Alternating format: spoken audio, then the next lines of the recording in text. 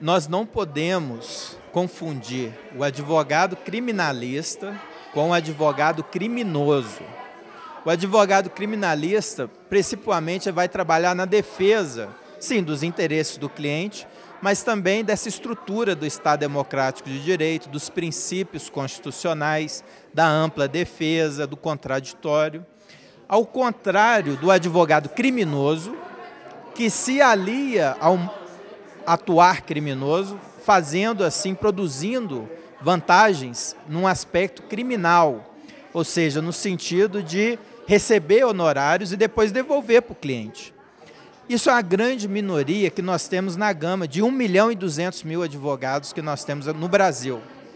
Então, há uma presunção que todo advogado que vai receber os honorários vai fazer a limpeza, a lavagem, vai desvirtuar a sua função como advogado e vai associar-se ao crime. Isso é uma grande é, deformação da profissão do advogado.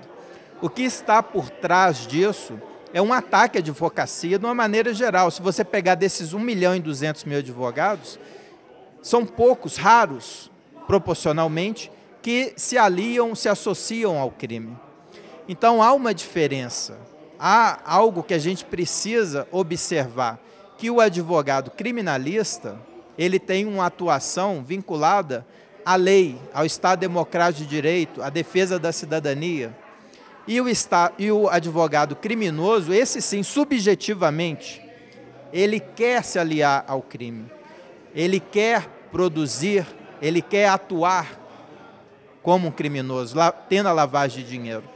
Então, mas isso é uma minoria. A gente não pode é, fazer uma presunção que todos os advogados que recebem dinheiro estão fazendo lavagem de dinheiro, porque isso é um absurdo.